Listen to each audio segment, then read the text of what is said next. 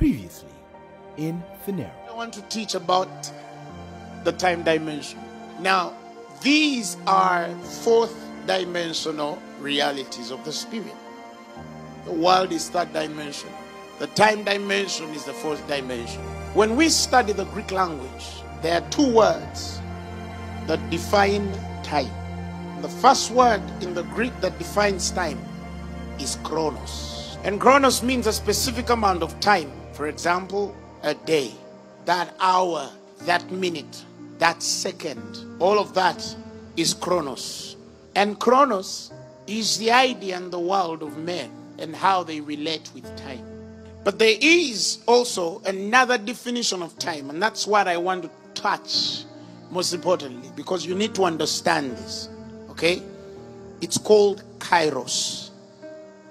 Now, kairos, the Greek, it means the appointed time in God or in the purposes of God. That spiritual moment, that particular season. Kairos also means harvest time. It's not in the realm of seed, it's in the realm of harvest time. In other words, Kairos relates with the harvest, it relates with the results.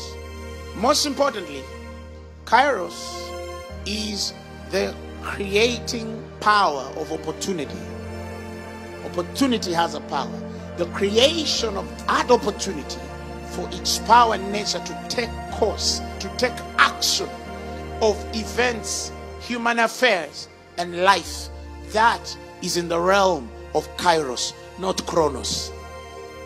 So your next success is not in the realm of Chronos, it's in the realm of Kairos. Your next increase, your blessing is in the realm of Kairos. When we're talking about waiting upon God, we wait upon God in the Kairos realm because in there is the appointed time, the spiritual moment, the God ordained season, the harvest time for every seed sown. Kairos also is the definitive mark of discernment. You cannot discern without Kairos because Kairos has signs. The Bible says in Matthew 16, verses 1 the Pharisees with the Sadducees came tempting and desired him that he would show them a sign from heaven. And the Bible says, And he answered and said unto them, O ye hypocrites, you can discern the face of the sky, but ye cannot discern the signs of the Kairos. And Jesus is trying to tell them this simple thing. If you do not know the signs of Chronos, how can I even talk to you about the signs of heaven? This comes first. You must understand how the appointed times of the Spirit work. Because if you don't understand the moments, the seasons of the Spirit, what conversation has God got with you to tell you about the signs of the heavens? How will you discern the signs of the heavens when you cannot understand the signs of the times of the Spirit?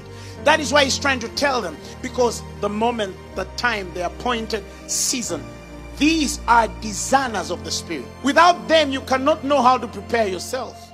God has called us to bring to the redemption of time. If 2020 is a year of redemption, then we must know how to redeem time. Now, the Bible says in Psalms 90, He says, Teach us to number our days that we may apply our hearts unto wisdom. The Hebrew word there for numbering of days is manao, which means to appoint, to account, to tell, to prepare our days. In other words, there's a wisdom that comes to the heart that has known to number days. But to number days is a divine teaching.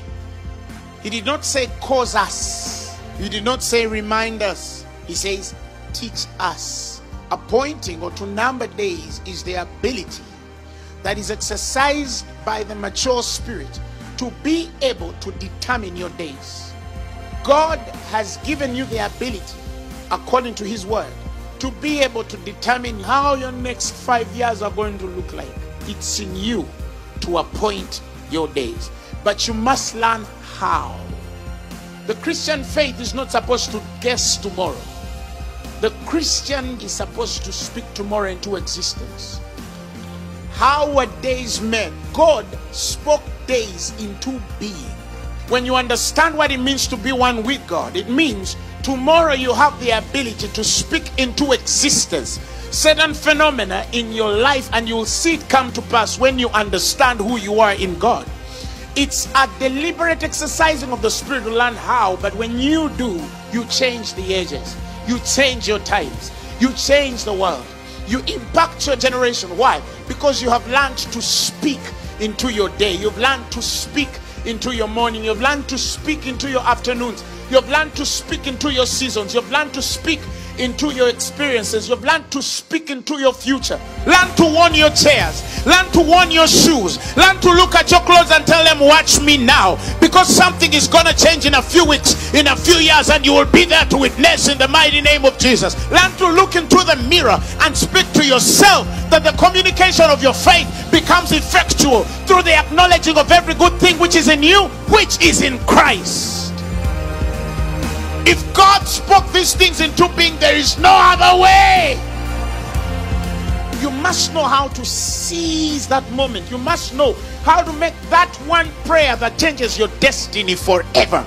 The first miracle was brought out of the person of God according to the faith of a woman who believed God. There is no delay for somebody who is ready to believe in the faith now. Now, faith is the substance of things hoped for, the evidence of things not seen. And by faith, we understand that the worlds, the ages, the times were framed by the word of God so that the things which are seen were not made of things which do appear. But he said that is in the realm of understanding. It's not a knowledge they can give you and you receive, it's an understanding that has to come to you by reason of use.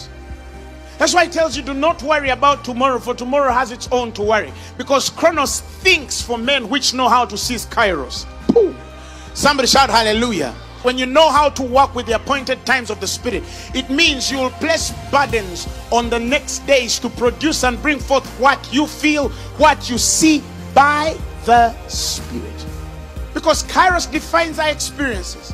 Our experiences are our equipment for the equipping of the saints for the work of ministry to the edification of the body.